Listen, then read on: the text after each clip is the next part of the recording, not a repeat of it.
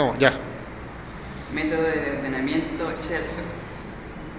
Aquí vemos un arreglo de 11 elementos. El primer paso que hay que hacer es contar dividir el número de elementos en 2. En este caso sería 11. 11 dividido en 2, la parte entera es 5. Entonces levantamos la primera carta y contamos 5. 1, 2, 3, 4, 5. Lo mismo. 1, 2, 3, 4, 5. Esta es la primera iteración. Entonces aquí se produce el ordenamiento.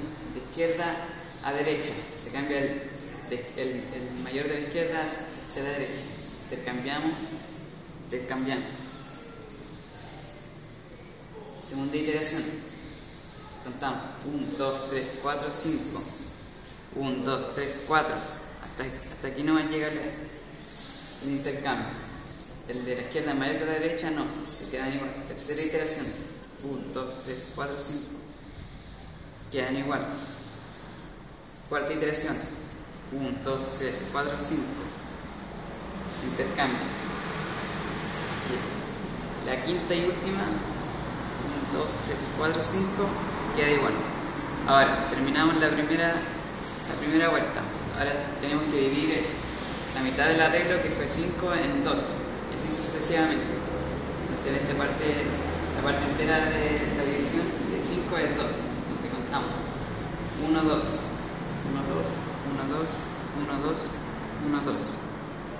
Intercambiamos izquierda a derecha. El mayor se cambia. El mayor no. El mayor son iguales, no. El mayor no. La primera iteración. Terminamos. Para la segunda. Intercambiamos. El mayor no. El mayor sí. El mayor no. Este sí. Terminamos. Ahora hay que dividirlo en dos. Dos divididos en dos una, este es el mínimo. Ahora este método es de inserción directa. Cambiamos las, cosas, las cartas consiguientes. Mayor no, sí, y así sucesivamente.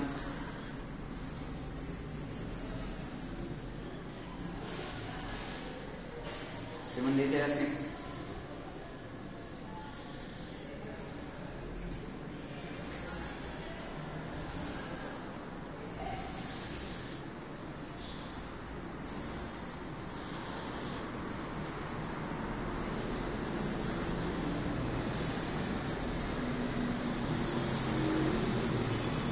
Estaría terminado el método de, de ordenamiento Shelson.